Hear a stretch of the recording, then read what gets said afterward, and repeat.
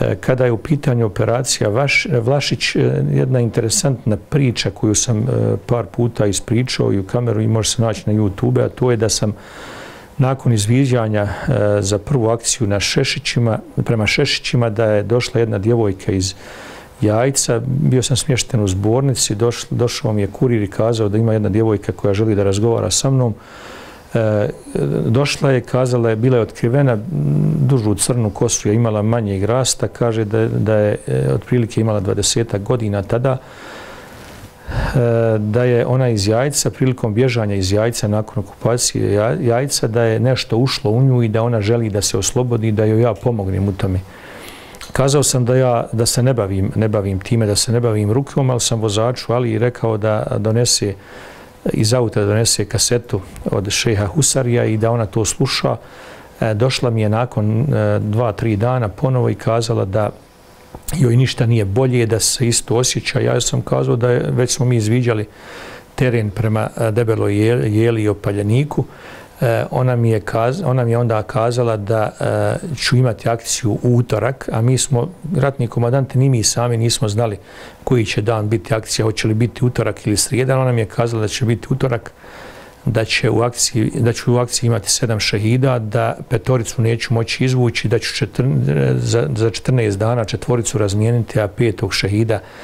e, Arapa rekla mi je ima, imaćeš jednog crnog e,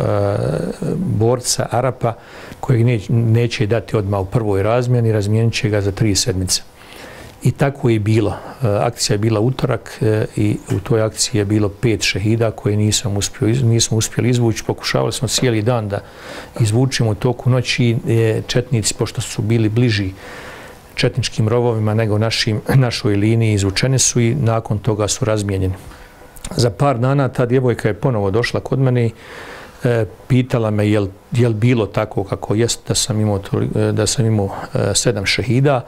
Kazao sam da jeste, a onda sam, e, ja sam imao jedan, jedan svoj lični problem, a to je da sam iz Bahreina imao trojicu boraca koji su e, prilikom dolazka prije na godinu dana su otprilike došli, negdje otprilike odmah posle Vašingtonskog sporazuma, E, oni su mi dali svoju, svoju dokumentaciju, e, koverte u kojima su bili pa, njihovi pasoši, njihova, e, njihove oporuke, pisma oporuke i njihov novac za puta, za povratak. I prije Vlašića su mi e, kazali da će im trebati ta dokumentacija ako, ako preživje Vlašić. Ali obzirom da mi je, da je granatiran stan, da smo imali neka premještanja u kasarni, nisam mogao da nađem prije, prije Vlašića, nisam mogao da nađem tu dokumentaciju. Tražio sam u stanu, ne, ne mogu da budem siguran da li sam to negdje odnio u kasarnu, pa mi onda bilo, znam da sam odnio u kasarnu, ne znam, jednostavno u kasarnu, u sefu, sefu mi nije bilo ti, te dokumentacije. I bio sam pod tim dojmom, stalno sam razmišljao kad završimo Vlašić, kad se vratimo, e, kako sad da, da oni idu jer nemam, nemam njihove dokumentacije. Ona onda meni kaže, ti imaš jedan problem, mogu ti ja pomoći. I ja onda kažem da imam problem taj sa pasošima. Ona je zažmirila i kaže e, u kući tvoga bivšeg zamjenika ima jedna porodica koja živi izbjegla iz svoga sela. Nadama konjica, e, taj čovjek radi e, kao magacinijer kod tebe u brigadi i e, pošto si ti to prebacio iz stana u kasarnu, onda iz kasarne smatrao da je bezbjednije to bude u njihovoj kući, to se odnio njihovoj kući. Kaže, ako niste na zadatku, onda obično vidite kod te porodice, idete da, da ručate svake nedjelje i zaista je to tako bilo. I kaže, ta, ta porodica je ostavila e, te tri koverte, ostavila na knjige gdje, koje su smještene u regalu u spavačoj sobi, tamo gdje je, e, gdje je predviđena televizija, gdje su knjige, a nema televizije, e, neko je uzimao knjigu i te kovete su zapale sa pasošima, ovaj, sa, sa novcem i sa tim oporukama iza tih knjiga. I preko centra veze smo naravno stvarili kontakt, tražili da odmah neko ode da provjeri i za par minuta su mi potvrdili da su pronašli, pronašli ta pisma. A onda me je malo uhvatio strah, jer sam u stvari, bilo mi je, bilo me je strah da dalje nastavim komunikaciju, jer i danas nisam potpuno siguran da li se radi o stvarnom ljudskom liku ili se radi o džinu. Čak sam kasnije razmišljao e, vrlo izvjesno da to nije uopće ljudski, nije, nije bio čovjek, odnosno ženska osoba, već da je, da je bio u pitanju džin.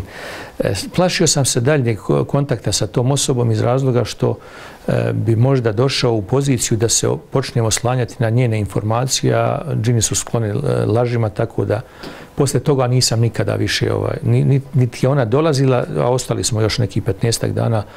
e, u Travniku, niti ona dolazila kod nas u, ovaj, u školu, u kasarnu, niti sam, niti sam ja nju tražio, niti znam šta se uopće desilo s tom osobom, niti znam tačno gdje je ona, gdje je ona stanovala, nije me to ni zanimalo, nije, nije me to bilo ni bitno ali u par navrata kad sam eh, razgovarao s nekom, nekom braćom i ovako na nekom nef, neformalnim nekim sjelima, kad sam to spomenuo, e, obzirom da ima bošnjaka koji imaju neki svoji problema i neki tajni, nerijetko su mi se javljali pojedinci i govorili hajmo mi nju tražiti da vidimo je li ona još živa, jer vjerovatno neko opet ima ne, ne, ne, neku dunjalušku svoju, svoju potrebu.